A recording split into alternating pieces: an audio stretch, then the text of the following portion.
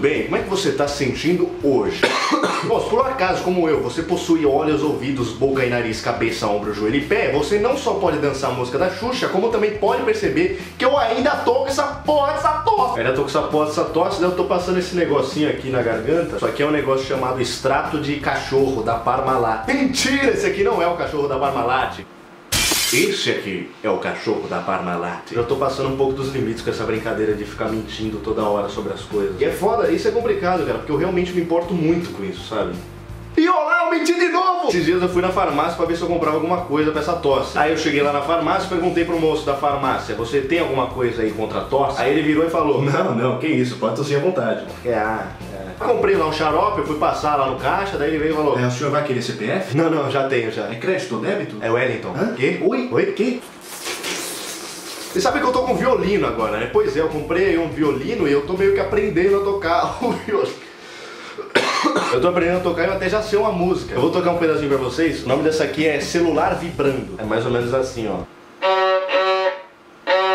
Você sabe o que é isso aqui? É um monitor Samsung LED TV 1080p Full HD Blu-ray HDMI. Tô de brinks. Isso daqui é um chocolate muito bom. Isso daqui é um saco de M&M's, que é um chocolate muito gostoso e muito legal. Vocês sabem como é que surgiu os M&M's? Lá na Guerra Espanhola, lá em meados de 1940, 1900 e quase nada, os soldados espanhóis, eles pensavam assim, ó, a gente precisa comer. E o que que acontece? A gente nasceu com esse fardo aí de ser ser humano. E se a gente não comer, vai acabar acontecendo um negócio aí que a gente pode... A gente morre! Aí os soldados espanhóis falaram assim, ó, a gente podia comer chocolate, né? Vamos comer chocolate, fica levando pra lá e pra cá o chocolate, leva pra lá, traz pra cá o chocolate, chocolate ali, chocolate aqui. Aí o cara pensou, puta, mas eu vou levar chocolate pra cá, chocolate pra lá, ficar pegando na mão, o negócio vai derreter tudo. Mas aí ele pensou de novo. Ele falou, não, eu vou envolver o chocolate numa camada de açúcar.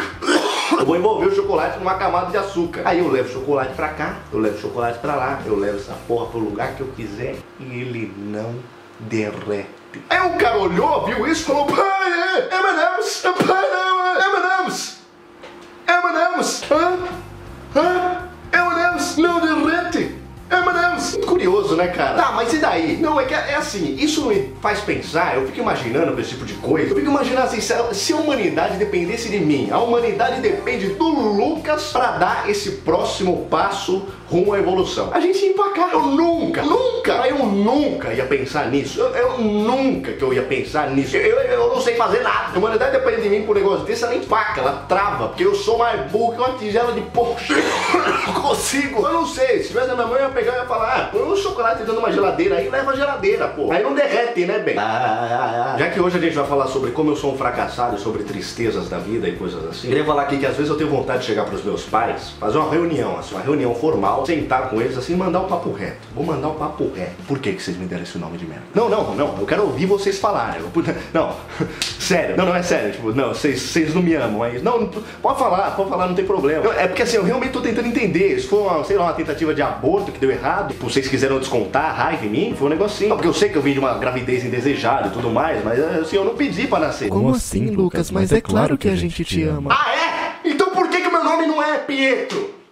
Hein? Por que, que não me deu um nome de gente legal, gente bonita, sei lá, Bernardo? Sabe aqueles nomes com aquele sobrenome alemão bem bonito, sabe? Legal, assim, aquele sobrenome que é um puta nome esquisito, assim, com aquele trema em cima de umas vogal aleatórias, assim, tipo.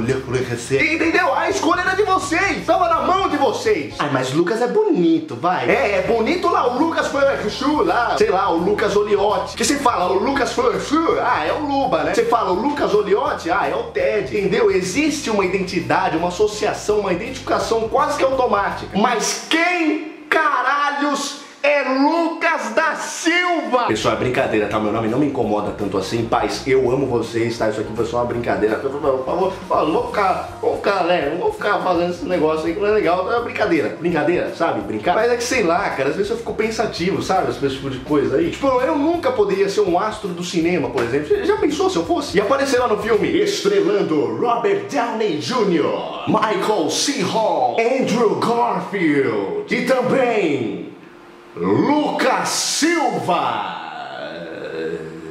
Quem, quem, quem que é esse Lucas Silva? Ah, não sei, né? Pode ser qualquer um. Desembarcou hoje aqui no aeroporto de Guarulhos a maior banda de heavy metal de todos os tempos. A banda aí que é liderada pelo vocalista Lucas da Silva. É, é esse nome mesmo? Tá certo aqui? Cara, que não é, não é hold, não? Sei lá. Falando em ciaço de cinema, aquele scanner que eu fiz na minha cara tá parecendo aquelas capas de filme, não tá não? Imagina, sei lá, pôr um título aqui. terrorista saindo lágrimas. Bom, eu tô zoado, né? Eu acho que tá meio perceptível aí pra vocês, né? E isso traz aquele outro fenômeno, que é o fenômeno que minha mãe passa a adentrar o meu cômodo de meia em meia hora, com aquele discurso insuportável de uma só frase que atravessa os meus ouvidos e me traz uma vontade louca de cometer suicídio enfiando uma lata de atum pelo meu cu. Vai no médico, Lucas. Não! Cara, não, hospital é, é- é- Hoje em dia, se você entrar no hospital ou entrar numa dessas lojas de operadora de celular, tipo a TIM, Oi, Claro, Vivo, você vai se deparar mais ou menos com a mesma cena. Sabe essas lojas de operadora que tem em shopping? É a mesma coisa. É sempre aquele cenário pós-apocalíptico, sabe? Um monte de gente morrendo. Nossa, você pisa dentro do lugar e começa.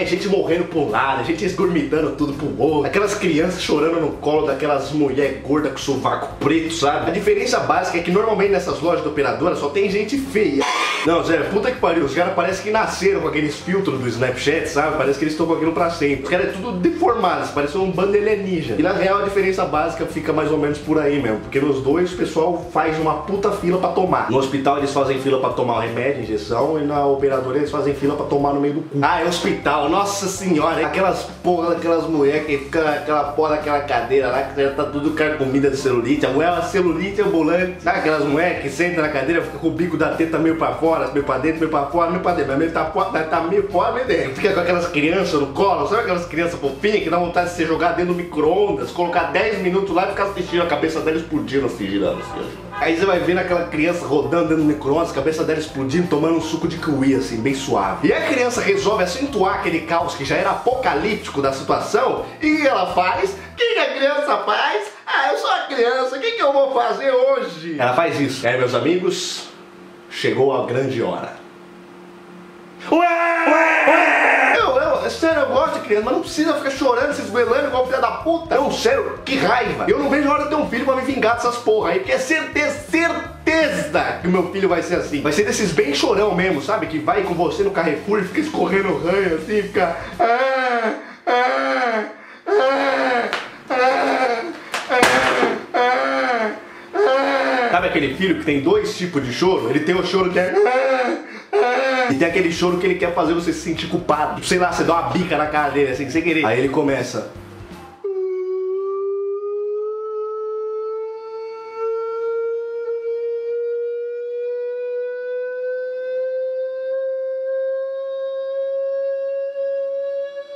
Esse aqui é o chamado choro da aceleração. A criança até troca de marcha.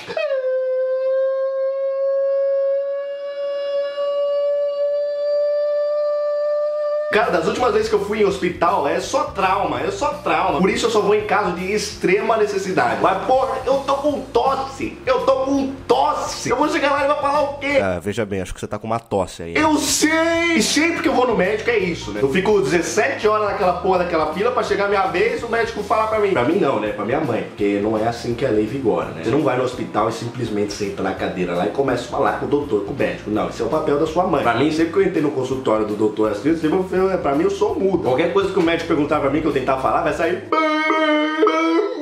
Então toda vez o doutor vira pra minha mãe e fala. Não, não, mas isso aí não é nada. Isso aí é uma gripezinha, é uma virose. Aí dá uma cataflã pra ele, ó. Cataflã, três dias, ele tá novo. Essa aí isso é uma gripezinha aí, sabe? Fica em lugar fechado, assim, esse frio, aqueles germes. Pega gripe normal. Ah, não, é só uma gripezinha. Mas pode ser um câncer também. Cala a boca! E esse negócio de doença, você não pode pesquisar na internet. Você não pode. É sério, vocês ficam aí fazendo campanha contra cigarro. Ai, que cigarro dá câncer, cigarro mata, dá câncer. Eu acho que o cigarro é fichinha, o cigarro é fichinha. Vocês deviam fazer campanha contra o Google. Porque, olha, rapaz, o tanto de vezes que eu já peguei câncer por causa do Google não é brincadeira, não. Ai, cara, mas hoje eu acordei com uma dor de cabeça. O que será que é isso? Dor de cabeça ao acordar pode ser indício de câncer no cérebro. Ai, mas que dor nos dentes.